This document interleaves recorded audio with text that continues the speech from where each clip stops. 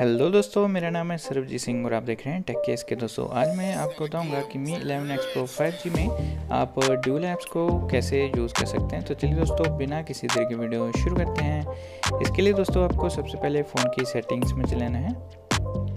Settings में जाने का दोस्तों, आपको ऐप्स पर क्लिक करना है।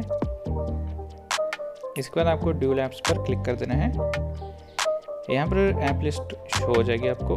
आपको जिस भी आपको ड्यूल ऐप में क्रिएट करना है, आपको सिंपली उसे ऐसे ऑन कर देना है और ड्यूल ऐप क्रिएट हो जाएगी। अगर आपको इसे अनइंस्टॉल करना है तो आपको इसे ऑफ़ कर देना है और यहाँ से ओके पर क्लिक कर देना है। अनइंस्टॉल हो जाएगी ऐप तो मैं इसे आपको दिखाता हूँ होम स्क्रीन पर शो करके। आप देखते हैं, इसे हम ऑन कर देंगे। तो ड्यूल ऐप क्रिएट हो चुकी है स्क्रीन कोडर की। आप देखते हैं, ये मेरा पुराना वाला स्क्रीन कोडर और ये न्यू वाला। हम इसे यहाँ से अनइंस्टॉल भी कर सकते हैं।